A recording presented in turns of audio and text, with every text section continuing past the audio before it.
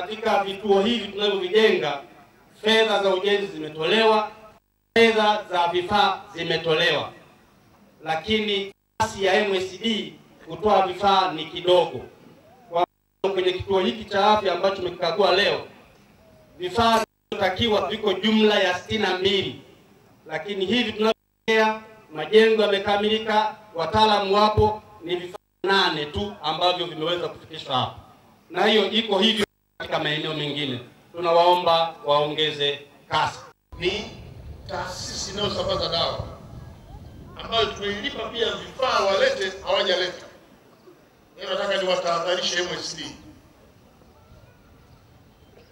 pale ambapo tunapeleka fedha, tunawaambia peleka vifaa pale, na vifaa vipo gohani kule, hawavileti. Wasiwarudie hilo kosa lao la kupokea fedha alafu kutoweka dawa na hivyo vifaa wapeleke vifaa haraka sana kwenye eneo ambapo vinatakiwa viende.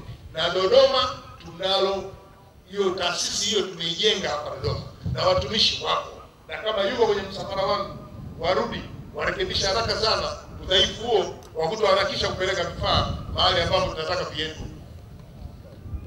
Serikali inalipa fedha, rais ametupa fedha na sisi tunapeleka. Hakuna mahali ambapo hatupeleki fedha, hakuna sababu ya kuchelewesha. Kama hiyo kazi hawaiwezi, watuambie, tutafute watu wapeleke vifaa.